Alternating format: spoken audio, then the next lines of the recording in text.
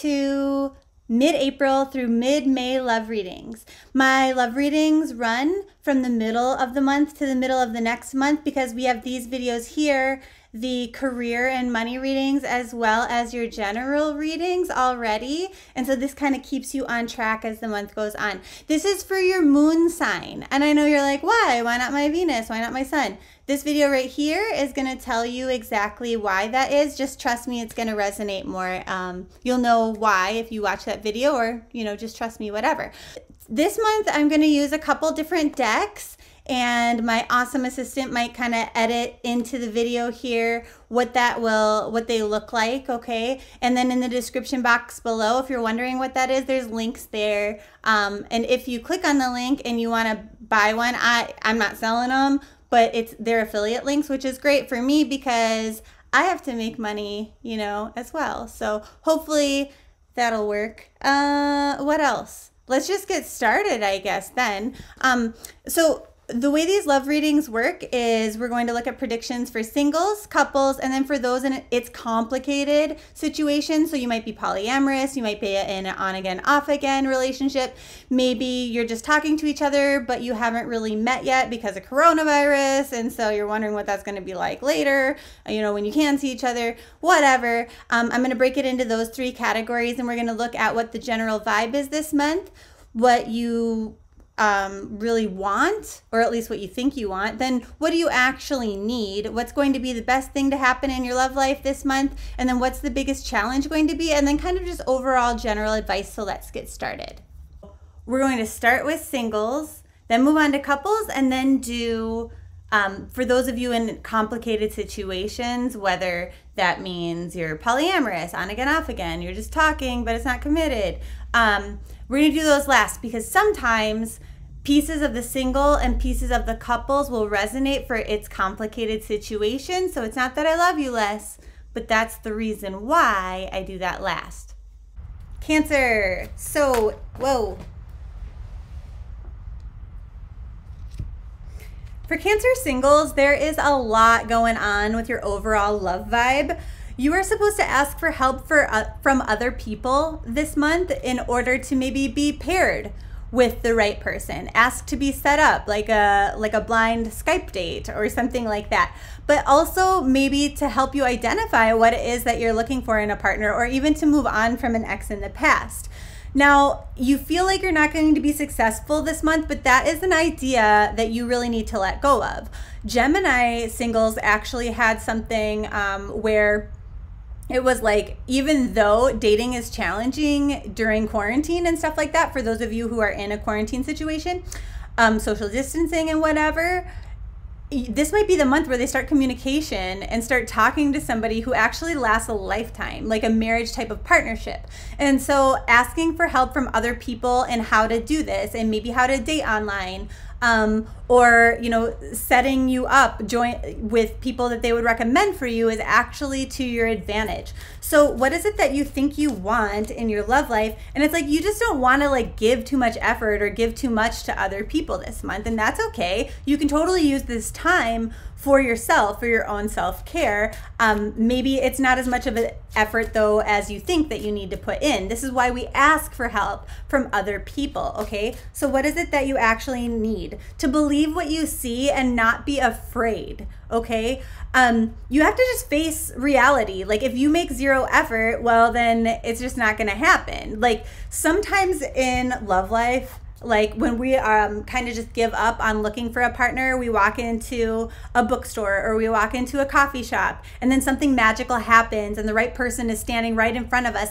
But right now when things are the way that they are those kind of lucky situations don't happen because people aren't going places right? So something to think about.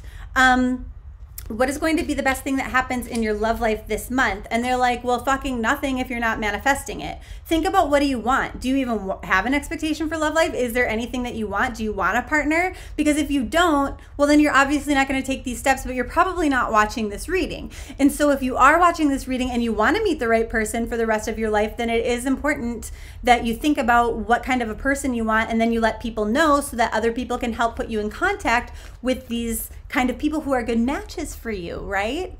Okay, so um, what is going to be the biggest challenge for you this month? And they're like to actually give energy time and what even conversation to other people to put in the effort um, to get to know them. Because the fact is like you really are focused on yourself. This isn't a good time for some cancers because you know you are the crab. You want to go into your own little shell and now you have time to do that for many of you. Not all of you but many of you are granted that. And so um you know finding the energy to go ahead and do that and like put an effort out there um, is going to be a little bit hard. So the advice for you is like things don't happen overnight okay?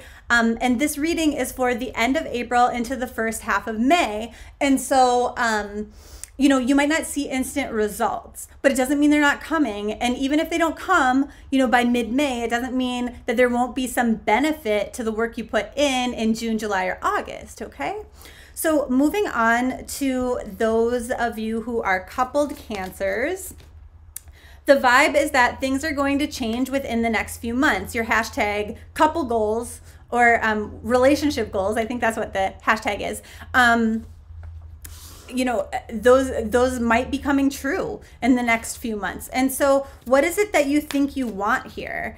And you don't want to feel guilty. You don't want to feel guilty for the decisions you make for the time that you spend on your own for the things that you want for the things that you desire for asking your partner to help you with this that or the other. Um, but you know like just not wanting to feel guilty doesn't actually help you to not feel guilty so you have to find a way to be non apologetic in your communication and in delegating, and then also in um, speaking with your partner about what it is that you really need in order to feel fulfilled. So, um, what is it that you actually need here? And they're like, well, for a lot of you, it's like you need to not feel guilty taking your own space. It's saying, don't talk to anyone, don't look at anyone. And um, your partner might have their own needs where they say, hey, I just need more affection, attention, and whatever from you. Like, I feel like we're strangers, even though we're like living together or something like that. Try not to take it too personal if they say something that can be a little hurtful like that. You can just say, in order to be the best possible partner I can be, I need time to recharge. And I typically get that when I'm driving home from work. And now that I'm working from home, I don't have that. And so, in order for me to be a better partner and to give you the love and attention that you desire, let me just take this time for myself right now. Okay, it doesn't mean that I don't love you and I don't want to spend time with you and I don't care about you. I just want to fully enjoy that. And in order to do that, I need this time for myself. That would be how you would best explain this to your partner. Your alone time is really, really important this month for your relationship. Your relationship only grows and gets better if you're able to take that for yourself. And so you really need to advocate for it. Um, so, what's the best thing that's going to happen in your love life this month? And they're like, focus. The best thing that is going to happen if you do this, right? Like, if you advocate for that alone time, is that the time that you have, it's not about quantity, like the amount of time you have, it's about the quality of it. You could spend less time together and have a better, more enjoyable, healthy, beautiful, loving relationship. And so you it's really important that you explain that. Um, what will be the biggest challenge for you? Um, and they say, well, it's a super super big challenge and a lot of you aren't sure if um, it's worth it because you might hurt your partner's feelings. It might take you know two or three attempts before you really get the message across that this isn't about them that it's about you and it helps you come back to the re- relationship even better. But um, you know, even though it might cause a little disruption, miscommunication, misunderstanding, argument initially, all of you, both you and your partner, for the long term are better for it. And so, is there any advice for you here? And they're just saying, you know, you're you're not going to have any love really to give if you don't take this time for yourself. So make sure that it is number one priority in your relationship, um, having that distance and that time for you. So um, for those of you in it's complicated situations, what's the vibe? And it's very similar to what the coupled cancers had. That within the next few months, whatever it is that you're desiring, whatever it is that you're wanting from this situation should come to pass. Things will be very different then for you. And so, what is it that you think you want right now? Um, very same, similar. It would be. I would say I'd recommend you go listen to the couples situation here um, because you might get a lot from it. So what they're saying here is, you know, you think somehow if you suffer a little bit more and you pay attention to what, because, okay, couples are different here because like they don't want to feel guilty. And and you here in its complicated situation, you want to fully feel that. It's like you want to punish yourself a little bit and feel guilty for, you know, asserting boundaries in this complicated situation. Um, but feeling guilt doesn't really help you that much.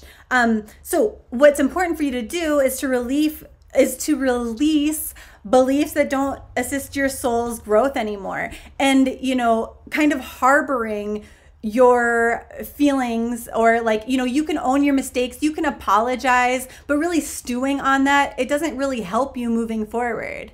Um, so like learning how to let all that go is going to be very very important for you in order to achieve what it is that you do desire for this situation. So what is it then that you actually need? You do need like i said if you go back and listen to the couple